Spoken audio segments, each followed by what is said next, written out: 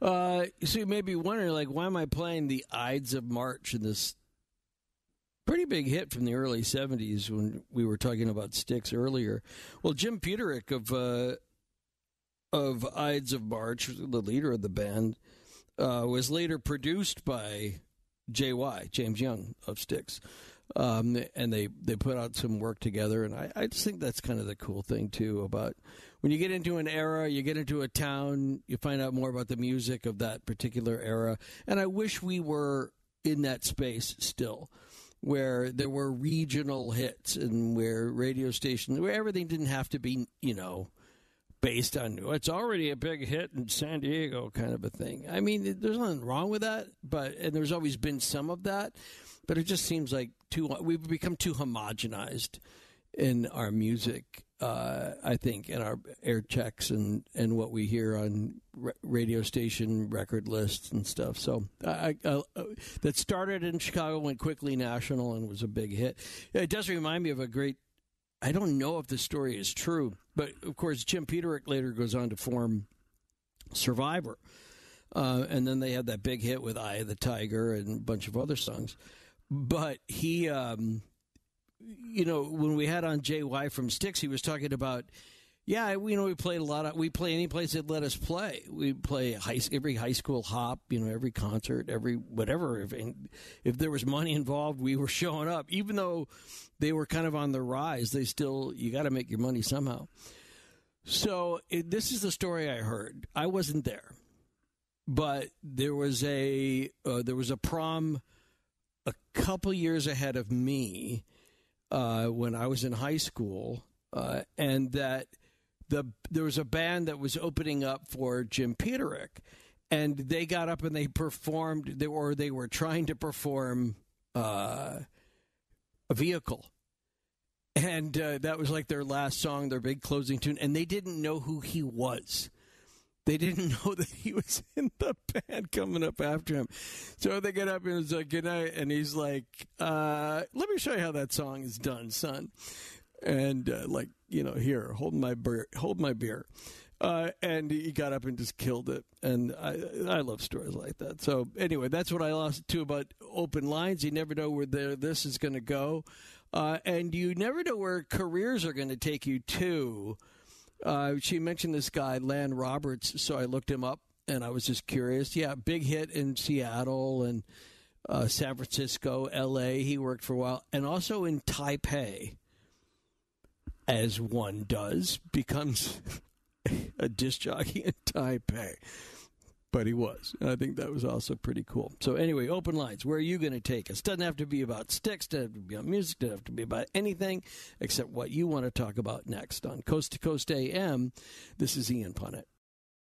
I've had a lot of fun on open lines tonight. Let's get restarted again with Matt in Kentucky on Coast to Coast AM, east of the Rockies. Matt, how are you? Yeah, uh, hi, Ian. At one time, you said that uh, Adam and Eve were never meant to have children. Can you explain that? I said that. Yeah, on it's probably been uh, a half a year ago, and Oh, I, uh, I on that because that's what I kind of believe. I think the fall was them getting the ability to procreate. What, Oh, what do you think? right. No, that's uh so. That's what you meant by that. Yeah. So yeah, there's all sorts of interesting theology built around Adam and Eve. Like, if Adam and Eve had just, if they hadn't touched the apple, what would have happened? You know, the the the idea of populating the world doesn't start until you know they've been expelled from the garden. Uh, and this is so often really where the story starts is always when the creation rejects the creator and that we don't we'll never know what the original intent was. They could just still have- if it had if they hadn't done that they'd still be sitting in the garden sharing pomegranates and naming new animals or something you know what i mean? We don't we'll never know. Well, because I because they says that uh, the the serpent said you'll be like God, and then he says knowing the uh, knowledge of good and evil. But anyway, I I think be like God. What is God? What did they know God as? The Creator. You could be like God. You could create life. Before Yeah. that, they couldn't create life because they didn't have the ability to. But the ser- serpent gave them the ability to have babies. What's the first thing they did after they ate? Right. They covered their they covered up their bodies. Nakedness. Right.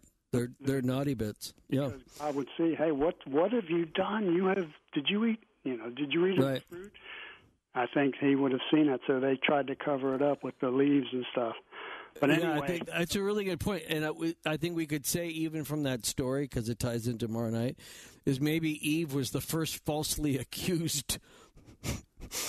uh, you know, the perpetrator who was taking the blame. You know, nobody. He, she didn't make Adam eat the apple, which is always an interesting. You know, why does he get to say ah, she did it?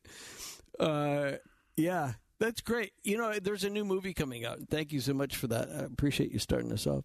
There's a new movie out called Creator, and it's about AI, and it follows kind of again. It, it, we talk about there's this ongoing theme. It goes all the way back to the garden of the creation rejecting the creator.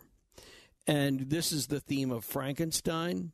This is the theme of what, like I Robot. This is the theme of so like lots of science fiction, um, and and the, the, it's a.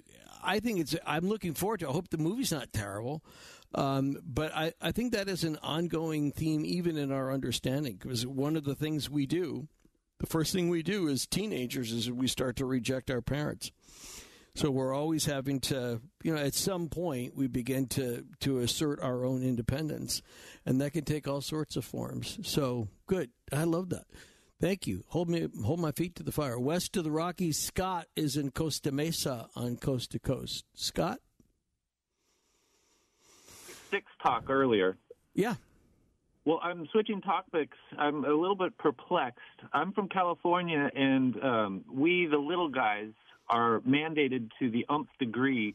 We have to have our cars smog checked and retrofitted right. pollutants right. and everything.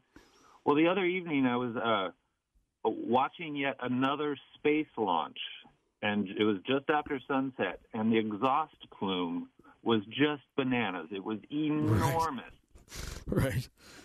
Are, are we taking like one step forward and three steps back? Because that was a lot of pollutants going into the atmosphere with that space launch. It's a fair point.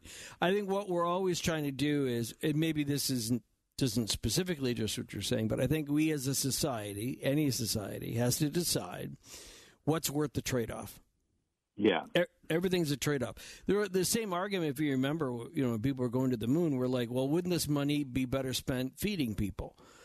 And then you go well in a cost benefit analysis look at look at what it brings eventually. And so does that giant that's a really interesting thought. I'd never looked at the exhaust of of a space shuttle rocket or any other rocket and went wait that's where's where's the catalytic converter on that puppy? You know i've never i've never thought about that but but you're exactly. right it was so amazing though because it was awe inspiring to watch this thing right. going so fast. It was really chill factors Right. But then I'm like, wait a second. Now I have to pay $150 right. every years to get my car retrofitted or whatever. Right. What? But how how messed? I mean, this is a really good question. Like some states did it differently, and they offered like a one time upfront rebate on getting rid of your old clunkers. Remember that whole thing? And there yeah. was a that was and so it's we've always had to take sort of baby steps to determine at least in if not sim, if not really, then at least symbolically, what are we doing to help the environment? And there, you think about the accumulative effect over decades. A lot of our water is a lot cleaner now than it was in the 1970s, and we're and it's still like the aquifers and in farms and stuff, it's still too many pollutants out there, and it's gonna. So, what's our moral obligation to the future? And what are we willing to pay for the luxuries that we have today? That's all, every society ever has had to make that decision. Because i wouldn't want to live in india. I wouldn't want to live in delhi. I wouldn't want to live under that constant smog. Well i'm i'm all for you know doing my fair share. I just would like to know like what elon musk what yeah. is his dmv fee Yeah, for the Rockets. It's very fun. And does he have to wait in line like the rest of us? That'd be very funny. I love that as an idea. Bruce's first time caller line, Wisconsin on Coast to Coast AM. It's open lines. Bruce? Yeah, and I'm telling you, you are the greatest budget tuition for this old NTS. I think I want to drop in your classroom. I'm going to get on the and, and, and, and drop in. Well, you can take it online. That's the beauty of today. You know, Jet well, I'm not a line person. All right, I wanted to go back to uh, Keegan. And did you ever get any Geordies on your taste buds? Oh, funny! I hadn't even thought about that. Yeah, I live. I I work down on G Street, right down on Genesee, and so it was mostly taquerias right by that point. And there was really good Mexican food down there, and it was the businesses that stayed behind were terrific. Uh, how did you end up there? Now, where do you are? You in where you live now? Well, I'm out in Dover. I'm hiding out. I have my uh, Jim Morrison. Uh, can you give me sanctuary? Uh, and, uh, so who did you broadcast for? WKRS or? Uh... No, they were. Well, we eventually took them over. They were WKRS was the AM signal in Lake County until uh, WEFA was the FM. And a previous caller had said, no, there was no such thing as FM for a long time. There were FMs, just nobody was doing anything on it. They were mostly for like educational purposes and stuff. And so we we were the first to take that 24 hours and we changed the call letters to WXLC. And I think a year or two after I left uh, to finish school at University of Illinois, um, I think they bought uh, KRS um, that over there by the Kmart, wasn't it? Yep. Yep. Yep. Yep. Uh, yep. And uh, and uh, Lewis Avenue. Right.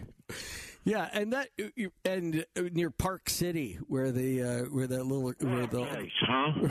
right where the Park City wasn't where all the um, mobile homes were or whatever. Well, there was a racetrack there, and oh, Zebra and the owners of that property um, it was underwater, the racetrack, so they had to let it go. And they oh, probably borrowed stuff from the landfill and uh, yeah. uh, topped it up, and there's more mobile homes on it by now. Yeah, well, I it, it, those are happy memories. Lake County, you know, it's there's so many different places all around the country that you drive through them and that you don't remember. I mean, they just don't look at all like how you remember them. Uh, but at the same time, uh, you know, it that was it was great for me when I was there, and it was fun to talk to JY and hear about how he was sort of proud of the idea. He was there was no shame in playing high schools or doing whatever. Uh, that that was you, you, had to do what you had to do to make a buck, you know. And if you had to drive out to uh, to Crystal Lake to do it, but the money, the, the new place, the old barn. Right. So if you go out there to where the money was green, you know, so be it. Well, so rectangles are rectangles, eh? Ian? Yeah, I appreciate that. Thank you so much. Have a great night. Billy's in Peoria on Coast to Coast AM. Billy? Ian, great show tonight, I got to say. Thank you. Um, so I live in Peoria, and I got into the music industry, and there's a theater down here called the Madison Theater, and okay. one night, we, me and my buddy, we're down there. We work in there all the time, and one night we're setting up a film projector. Hmm. To we were going to show Caddyshack in the theater that night. Great. After you know, and then we did rock shows and stuff. Sure. So we're in there. We got the projector going with the big reels Everything's going good. And then I walk out front outside of the projection booth, and there's a chandelier just swinging back and forth. Oh, that goes back to the caller who was asking about, you know, like recording studios and other places that were haunted. Wow, it was. I mean, it, and I was, yeah. I was, I was like, I called my buddy out that I was working with. I go, look at that and he, and then we shut the projector off and just sat there and watched it. so it wasn't swinging because of anything. It wasn't the Caddyshack soundtrack or anything. It was just it was freeform swinging. Yes, Absolutely. I love that. That's cool. And then, and then, and then another thing you were talking about weird things going on in Illinois tonight.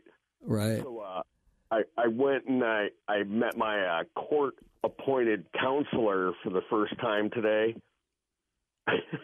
Cause uh, there's a story well, there. Right. That's right. You know, I got in trouble, so I had to meet the court appointed okay. counselor for the first time, and uh, she had a lit.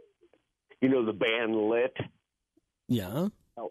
Right. She had a okay. lit sticker from the Madison Theater stuck up on her wall, and we wound up going out and having drinks. Ah.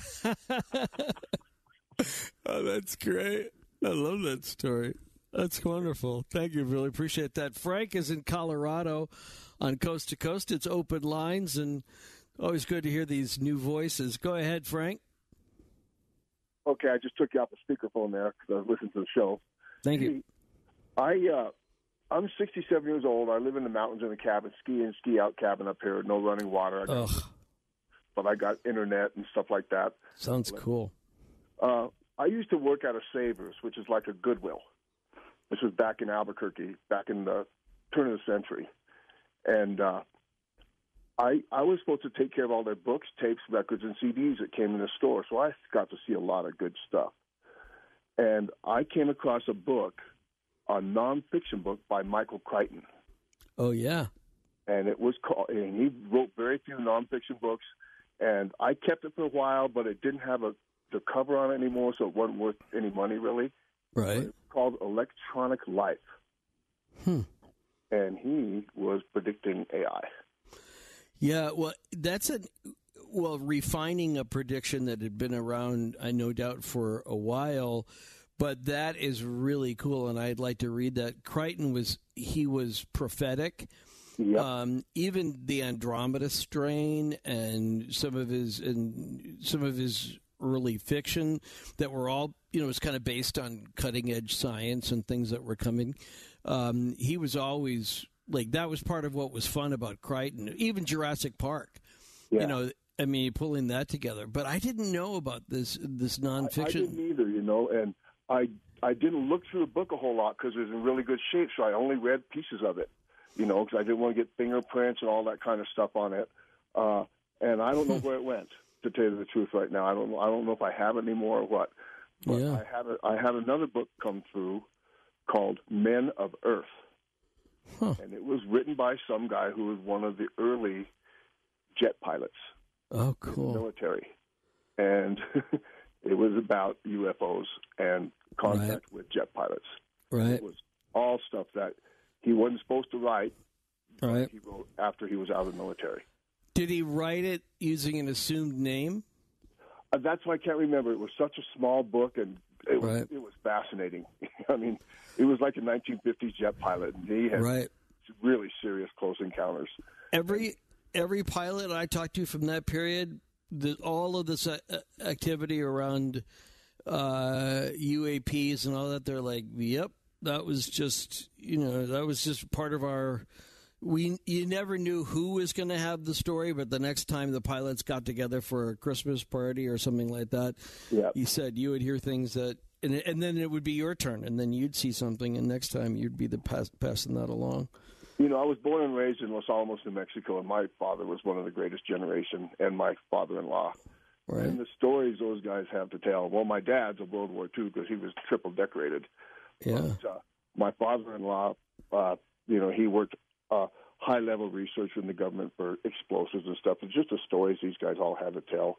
But the main thing I, I yeah. want to tell you about that Michael Crichton thing. Well, I'm glad you did, but I'm also told you. I'm also glad you told me about your ski in, ski out shack. I think that sounds really cool because I have a sister-in-law that lives in uh, Evergreen. It's just filled with bears and everything's attacking each other, and uh, it's it's great to be around wild country like that. All right, open lines. Give you the numbers, and I'll give you a little sample of AI I've been working on on Coast to Coast AM. This is Ian Punnett.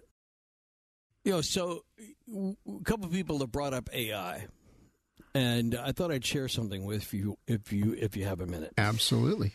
So uh, there's a lot of conversation on college campuses about AI, and the idea of using like uh, a, a, chat uh, GPT to create your papers for you, and there are a lot of students who've actually looked me in the eye when I've said I've challenged them in the paper, and they go, "Oh no, but yeah, but that came that came from Chat GPT," and I'm like, "Yeah, okay." They well, told you, yeah, and I'd be like, "I'm that's your outside voice. Do not. That's not the thing you tell me."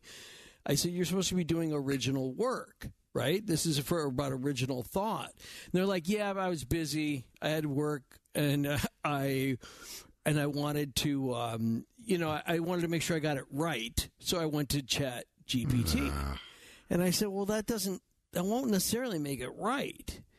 And they're like, "Well, what are you talking about?" And so this whole AI conversation, you've seen this new movie coming out called The uh, Creator, yes, right? And so it's about like we we should never have created AI. I don't know what the boundaries are yet.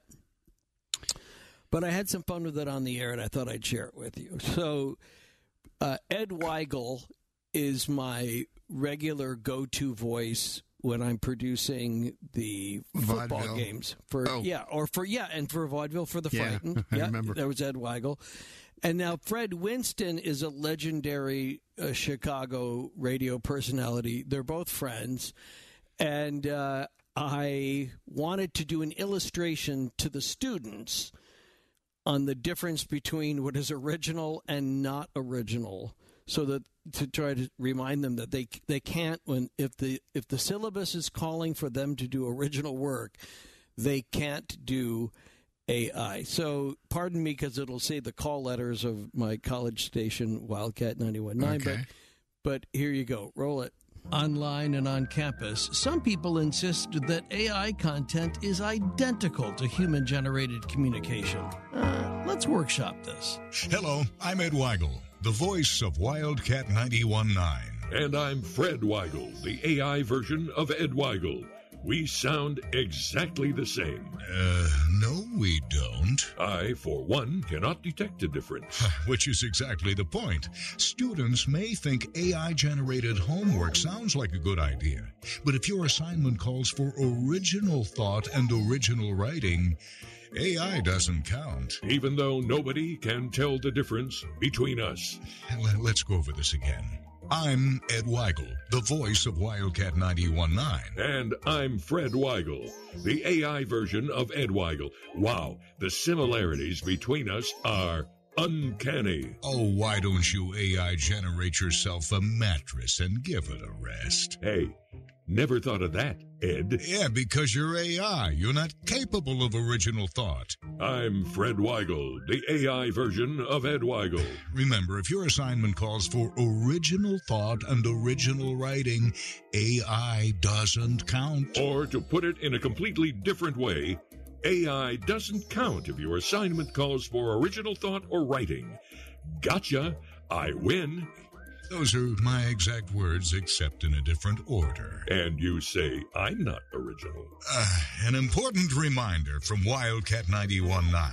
Or Wild 91 Cat 9. Same thing. Yeah, no.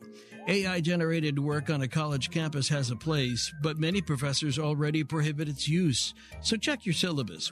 A message in the public interest from Wild91 Cat 1. Oh, now he's got me doing it. Gotcha. I win. There you go. That's great. The, sta- the current status of AI.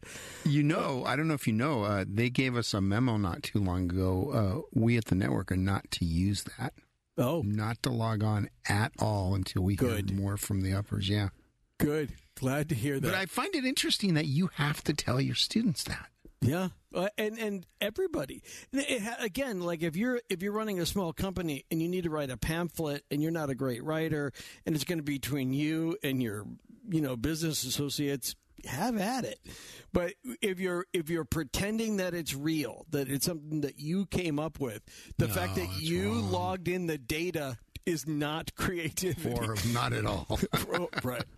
All right. I'm glad you enjoyed that. All right, let's get back. We'll wrap up open lines next on Coast to Coast AM. This is Ian Punnett. Well, uh, coming up tomorrow night on Coast to Coast, don't miss this new book about junk science. Kind of parallels a little bit about the AI thing in the sense that what has become accepted by, you know, some areas of jurisprudence shouldn't even be called science. Um, says one author, and uh, and he's the guy who's been leading the national campaign against getting it out of our courts and getting the people who were victims of it out of our jails. Let's go to, let's see, Sergey is in Montreal on Coast to Coast AM. Sergey? Oh, Serge. Serge. Yes, uh, I had the pleasure of uh, speaking to you, uh, I think it was in 2007, about uh, the Emperor Constantine. Uh, oh, during a commercial, yeah. Told you that uh, well, you told me, oh, he was the first Christian emperor. I said to you, that's what he said, and then uh, other things. Anyway, I saw a documentary about him, mm-hmm. and I, I knew that there was something wrong because they were. Uh, he had uh, so many writers uh, of the uh, what happened uh, with the, the the apostles and Jesus. so he he said, well, I I can uh, multiply the writings because I have some script, uh, scriptures. Uh, some people that will uh, eh, write uh, the same things, uh, and I will give them to you. So anyway, he he did he did that, but he chose those who, who um, the writings didn't count for didn't appeal to him he would say uh, go this way, and, others he would say go the, the other way. Oh, sure. And those who went somewhere, uh, they were eliminated, uh, and the scriptures weren't uh, published. Oh no, there's no doubt about it. Um, in fact, uh, he's known for uh, you know sort of large scale executions of people that didn't do what he wanted them to do, which he he wanted Christianity to be a unifying religion, and he wanted it he, was not yet baptized. He wasn't baptized until he was on his uh, deathbed. Um, but that, yeah, the, so he, he, is responsible for. Um, on the on the downside, he's responsible for a lot of people hiding documents, some of which would take centuries to find. Yeah, well, uh, it's a good thing that everybody that uh, were uh, um, apostles or, or uh, followers, they had all the same writings like uh, do unto others like you wish others sure. to do unto you, and love thy neighbor like yourself. They, right. he couldn't. He couldn't stop them.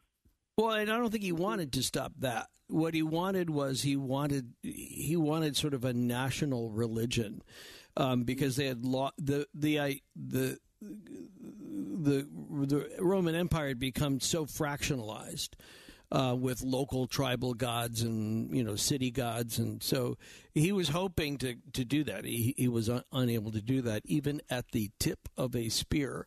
Um, but uh, he was so he was you know a pagan, I guess you would say.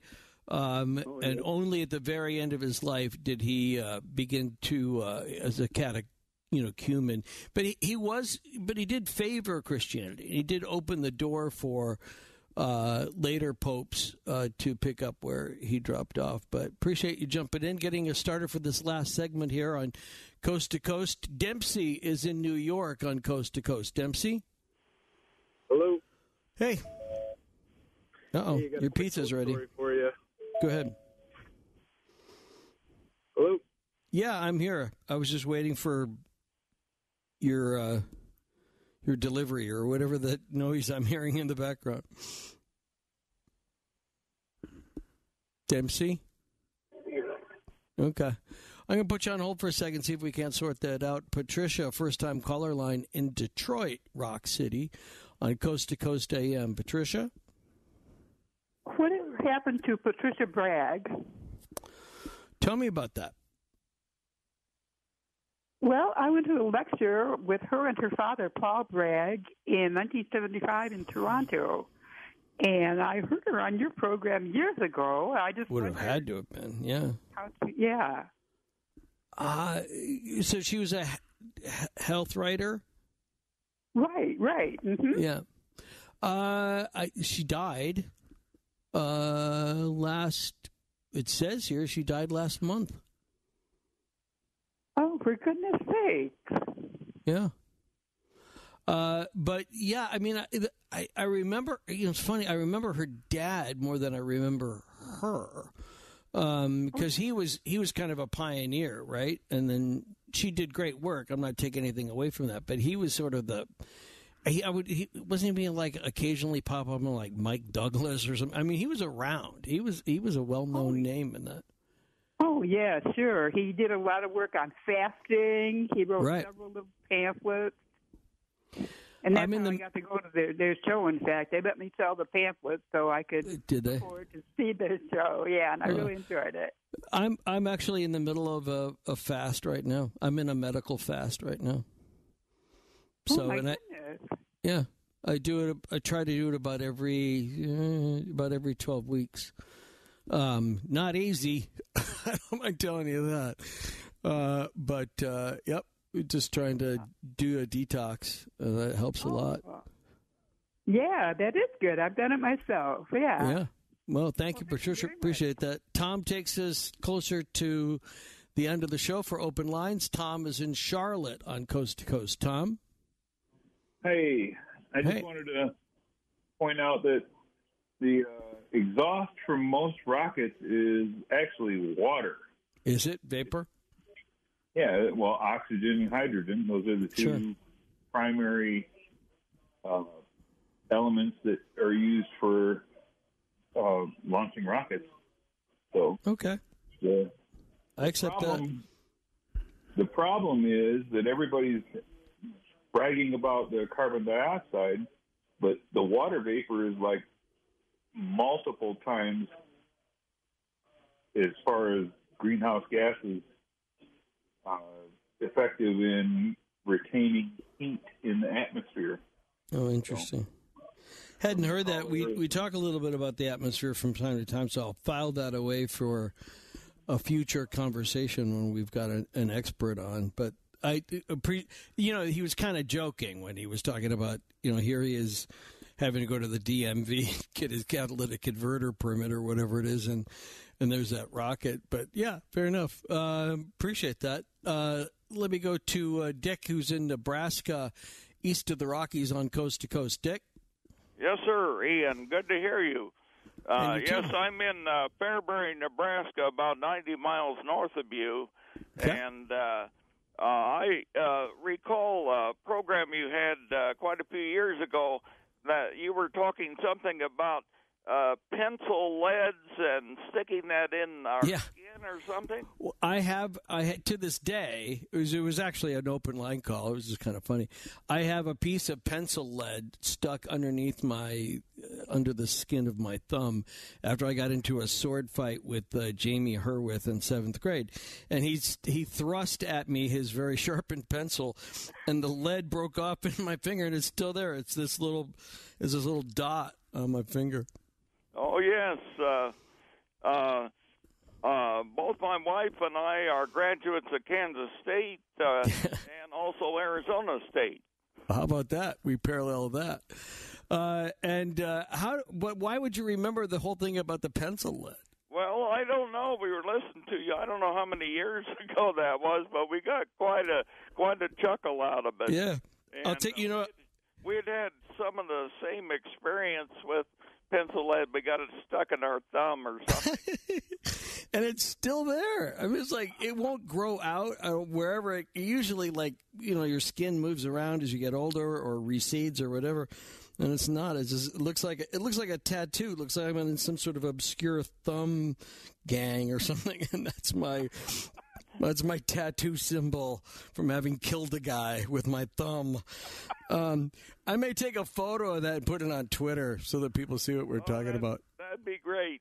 Thank you, Dick. Appreciate that. Levi is in uh, Missouri, and I think that'll do it. Go ahead, Levi. Uh, it's great to be on the show. Thank you for having us. Hey, It's, it's funny. I also have a, a single dot graphite tattoo on my Really? uh, palm of my hand. Yeah. It's a, we should do a whole show of people only who have had have graphite on the, underneath their skin. Uh, but I was calling. I, I wanted to talk to you about uh, an alien encounter that I had. Oh yeah. So this was in uh, 2013, um, about 30 miles north of Austin, Texas. And um, I was living with my uh, uh, aunt and uncle at the time in a, a pull-behind trailer. They they had a house, but I was living out there.